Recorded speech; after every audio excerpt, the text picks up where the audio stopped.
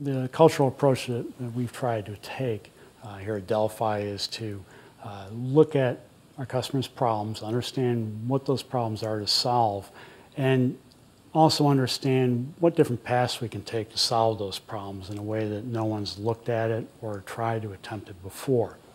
In the case of ErgoMate, uh, the problem that was identified was loose not attached connectors, which is a number one warranty issue on electrical systems in vehicles today.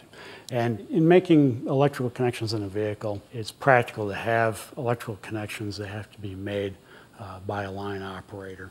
The level of this electronic content in vehicles is just increasing at a, uh, a drastic pace, and the number of connections in a vehicle is increasing also as you add more links to the chain, uh, the risk of one of those things failing and causing a, a, problem also increases. So each connection needs to be more reliable. We've provided that mechanical advantage through a system of, uh, of rotating cam gear driven by a linear gear rack.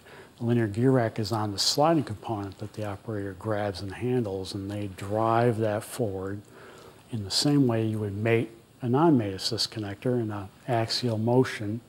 That axial motion drives the rotating gear that cams in uh, the connector at a high force, but with a low effort on the operator's part.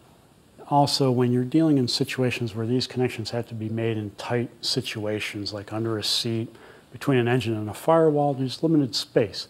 And if you're dealing with a large mate assist type connector that may have a large lever on it, uh, the ErgoMate technology removes that lever it removes the space required to throw that lever. It enables you to put a, a large connection in a very tight space and still be ergonomically accessible to the line operator to, to make that connection. Delphi is developing a family of connectors based on the technology uh, from large uh, to small connectors. And there's also opportunities in the uh, high voltage uh, electric vehicle uh, connection arena to uh, remove the shock hazard uh, that could potentially be there in, in, a high voltage connection system. When you can find a new path to solve a problem, now you've got something really unique, non-obvious, and innovative, and that can really delight your customer. And that's, that's the path we're going to take forward. That's the cultural direction um, of innovation here at Delphi that we'd like to pursue uh, on new products and our customers' next problem to solve.